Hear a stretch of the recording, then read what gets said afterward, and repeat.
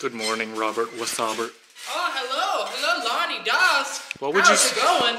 What would you say your least favorite part of having a trampoline inside is? Oh, I can't think of any negatives. Have you ever done this little number? Did you ever do the thing where you go under and you try to push your friends up like that? No, that's scary as It really, it's such a dumb thing to do, but we used to do that, and then one time I like literally thought I paralyzed myself because I like hurt my leg so bad.